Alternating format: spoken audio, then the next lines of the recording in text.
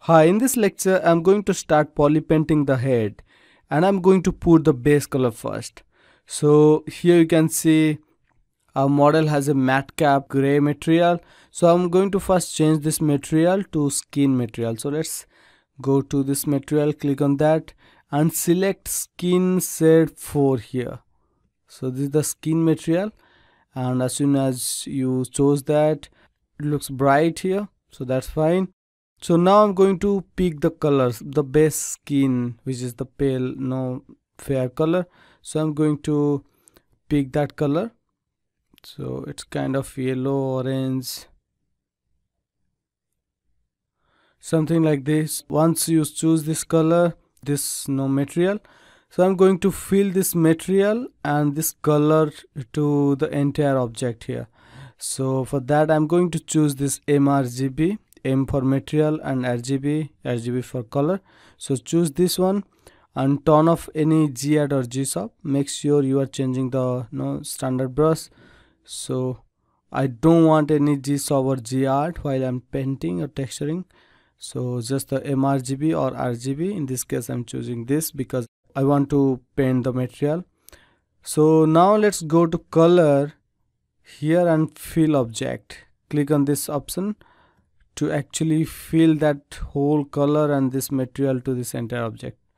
Now you can see once I fill that if I change this material to any of these other materials that body material is still like that skin material because I fill that material. Okay now we like fill that base color with the skin material. So again let me go back to the skin material. Okay so now I'm going to color the lip. So let's choose a pink color which is a little bit reddish here. Let's choose pink side. So plus make sure you don't have any Zadd or Zsub uh, let's say you have Zadd or something you have forgotten to turn off that. While you painting you might change the model as well. As you can see I'm also changing the model. So this is not good and I don't want this right now so make sure you don't have anything here. So Zadd Zsub is off and I'm just painting it. Now once I have like painted the skin material so I don't want that anymore. So just RGB is fine. So I'm going to now you can see I'm not changing any surface shape because I don't have any Zadd or Zsub just the RGB and let's paint this lip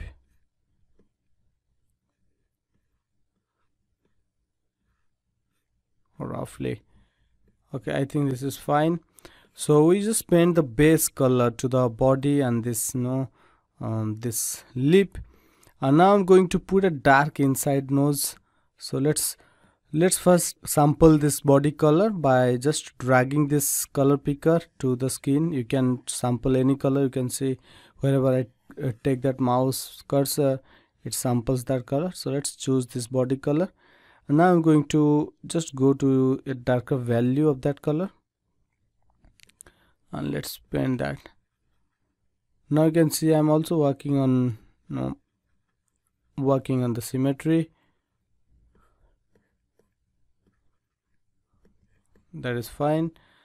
And you can also go ahead and you can put some little bit variation to the skin. Let's again sample the skin and let's say little bit variation.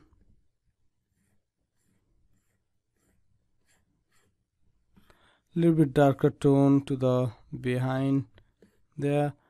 And let's put some darker tone here.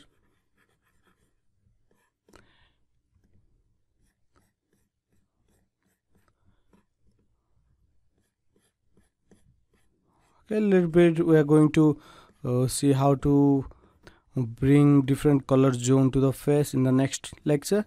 In this lecture we are just painting the base base color. So i think this is fine. So i'm stopping this lecture here. In the next lecture we are going to see how to bring the life into the face. You can see in real world we don't have a single skin tone. Our face has different skin tone and we are going to see that in the next lecture